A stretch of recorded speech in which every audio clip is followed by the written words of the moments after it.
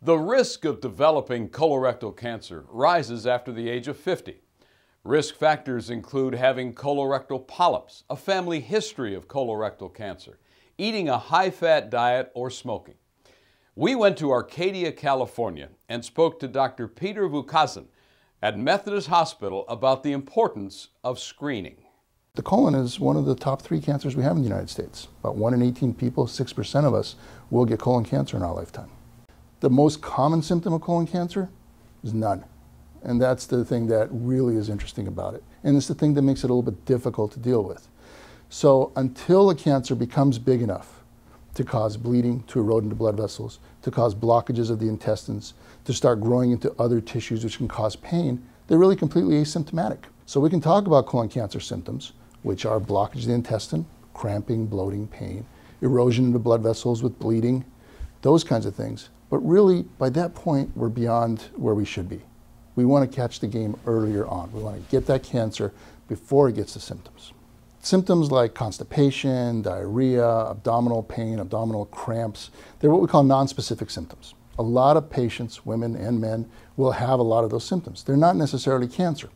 But the other side of the coin is cancers will sometimes cause those symptoms. So they're not symptoms you want to ignore. We want to pay attention to them. You want to evaluate them at some point, make sure that it's not being caused by cancer. We come to the diagnosis really in a couple of ways. One way, which is what we prefer, is to catch it before it causes any problems, and that's through screening. The screening for the colon mostly is done through colonoscopy, which is a camera on a flexible tube that's put into the colon under sedation, so there's not much discomfort. You look around and see if we see any signs of cancers, or even more importantly, the precursors to cancer. The other way is when people come in with symptoms. So when people do come to their physician complaining of abdominal pains, bleedings, things usually that are relatively recent onset that haven't been around for a long time, those are the ones that get evaluated and worked up as a diagnostic testing, not screening, but diagnostic. And that will sometimes uncover malignancies. Dr. Vukasin talks about the treatment options. The treatment really depends on where the cancer is and how advanced it is at the time that you find it. Rectal cancers, which is the last few centimeters or last 10 inches of the, of the colon, those cancers tend to be a little more aggressive. And because they're enclosed in the pelvis and the surrounding structures, they tend to behave and are treated a little bit differently. In rectal cancer, we will more often use radiation therapy and chemotherapy even before we do surgery to remove it, before we remove the cancer. Um, in the colon, because that's a little, it's not encased in the same kind of envelope, it's more free in the abdomen. It doesn't tend to grow into surrounding tissues, doesn't spread locally as much. So the first tool is to get rid of the growth itself, which is usually through surgery. And then once we get rid of that growth, we can look under the microscope and look at characteristics of the tumor.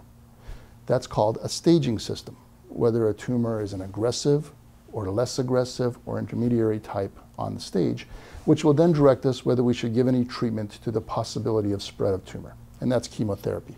The treatment to colorectal cancer really is a good example of what we speak about frequently in medicine, which is multidisciplinary approach to treatments.